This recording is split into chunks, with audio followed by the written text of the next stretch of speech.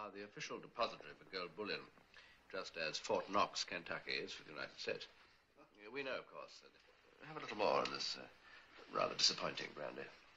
Well, what's the matter with it? I'd say it was a 30-year-old fiend indifferently blended, sir. With an overdose of Bons Bois. Colonel Smithers is giving the lecture, 007. Why move it? Because the price of gold varies from country to country. If you buy it here at $30 an ounce, you can sell it in, say, Pakistan at $110 and triple your money.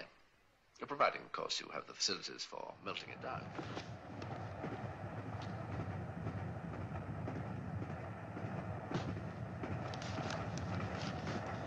Oh, morning.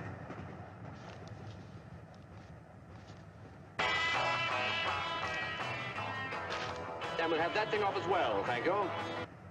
Well, uh, an elementary knowledge of the Railway Act would tell you that I'm perfectly within my rights. Charity vote up the workers and all that stuff.